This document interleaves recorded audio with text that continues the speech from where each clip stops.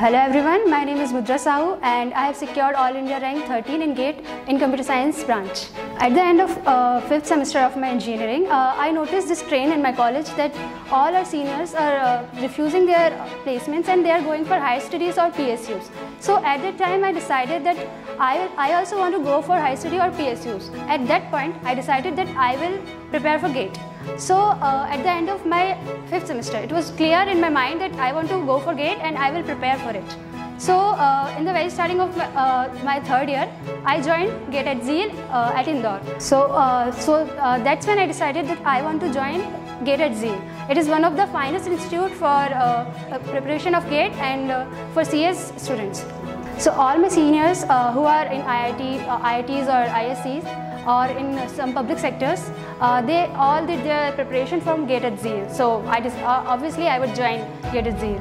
So uh, when, uh, when my senior suggested me uh, GATE at Zeal and they told me that there is a single instructor who, told, who taught all the subjects. I was really confused that how can someone uh, teach all the subjects and how can someone have command over all the subjects. And when I joined the coaching and attended some of the classes, I was really moved. I was like, how I was really surprised that how a, a, single lady can teach all the subjects. Like she has command over all the subjects and like the only reason uh, I couldn't have done this without Z. Like uh, clarity of concepts and precise knowledge. Like there are some institutes like they give you all the study materials. Like there will be ample of study material that you won't be able to decide like what to study and what not. Uh, but in GATE at Zeal, they pro uh, provide you the precise study material and they prepare you very well for the GATE. The study material and the notes that are provided by GATE at Zeal are so precise and uh, to the point that you can revise all the syllabus in within a week before uh, GATE. Like you can cover all the subject as well as you can uh, uh, go through the uh, questions which you find difficult because the things are so precise like you won't have, don't have to waste time on uh, uh, things which are not really that important. So many people suggested me to prepare short notes so that I can revise them uh, just before the exams very quickly. But the notes provided at GATE at Zeal, the notes that I prepared uh, at the coaching were uh, short and up to the point. Like I didn't have to prepare the short notes and I could actually uh, cover, whole, cover the whole syllabus uh, using my notes only and I didn't have to prepare any short, no short notes or anything. And one of the more, most important thing is mock test. Like if you want to judge where you stand in the crowd, you must uh, take uh, online test series and GATE at provide two uh, test series uh, when I joined the coaching, when I was in third year, uh, at that year they uh, provided a online test series and I started solving the question by that time only. And uh, when I was in my final year, that time also they actually renewed the series and provided uh, multiple, uh, provided many more tests. So I also I solve them also मेरे seniors और काफ़ी सारे toppers की videos मैंने देखे थे और उसमें सभी लोग सजेस्ट करते हैं कि शॉर्ट नोट्स बनाने चाहिए जिससे हम तुरंत रिवाइज कर पाए लाइक गेट के पहले पूरा सिलेबस कवर करना हो तो।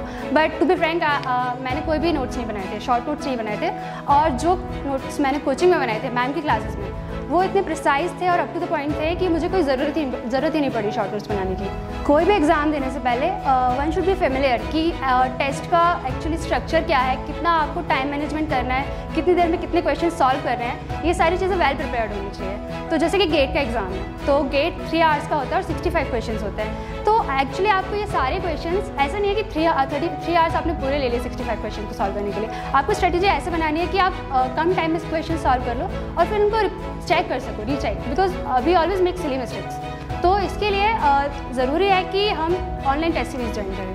और गेट एट जील काफ़ी अच्छी ऑनलाइन टेस्ट सीरीज़ प्रोवाइड करता है। लाइक मैंने अपनी पूरी प्रिपरेशन वहीं से की है। तो टेस्ट सीरीज़ जब आप ज्वाइन करते हो, आप टेस्ट देते हो तो आपको पता चलता है कि आप कहाँ स्टैंड करते हो। लाइक आप क्राउड में कहाँ स्टैंड करते हो। और ऐसे में आपको पता चलता है गलतियाँ क्या कर रहे हो। तो वो तभी आप, जब आप गलती करोगे, तभी आप उसको सुधार पाओगे। तो ये बहुत ज़रूरी है। So there was this subject computer networks तो ये सब्जेक्ट ऐसा था कि आ, मेरा हर बार मिस हो जाता था कोचिंग में लाइक कोचिंग में इसको चार बार कवर किया था पर मेरे साथ ऐसा होता था कि मैं हर बार वो तीन चार क्लासेस ही कवर कर पाती थी और हर बार मेरी बाकी छूट जाती थी। तो फिर आखिरी तक ऐसा हो गया था कि आ, मेरा ये सब्जेक्ट कवर नहीं हो पाया था। तो इसके लिए मैंने ये स्ट्रेटेजी बनाई कि लाइक बाकी सारे सब्जेक्ट में मैंने काफ़ी हार्ड वर्क किया था। लाइक like, सारी बुकलेट्स जो भी हमको स्टडी मटेरियल प्रोवाइड किया जाता है सारे क्वेश्चन सॉल्व किए थे। पर कंप्यूटर नेटवर्क ऐसा सब्जेक्ट था जो मेरा कवर नहीं हो पाया था। और अगर मैं लास्ट मोमेंट पर उसको पूरा थ्योरी पढ़ने बैठती तो वो मैं ऑब्वियसली कवर नहीं कर पाती। तो मैंने ये डिसाइड किया कि इसके लिए मैं सिर्फ़ प्रीवियस ईयर्स के क्वेश्चन करूँगी। और मैंने सिर्फ़ वो टॉपिक्स उनको काफ़ी अच्छे से पढ़ा जो लास्ट टाइम मतलब पहले के पेपर्स में आए थे। और इस बार भी ऐसा हुआ डेफी एलमेन एल्गोरिदम जो थे तो लाइक मैंने सिर्फ़ उसका एक उसका फॉर्मूला बस देखा था एंड दे आज द क्वेश्चन तो इस टाइप की चीज़ें होती है तो इसलिए स्मार्ट वर्क भी बहुत ज़रूरी है। एक लास्ट मोमेंट पे आप ऐसा नहीं कर सकते कि आप पूरी डिटेल में थ्योरी पढ़ रहे हो। गेट एट जी में एक पूरी टीम है डाउट क्लियरिंग सेक्शन के लिए। लाइक आप कभी भी कोचिंग जाओ, किसी भी टाइम पे जाओ, आपको हेल्प करने के लिए आपको टीम से कोई ना कोई मिल ही जाएगा।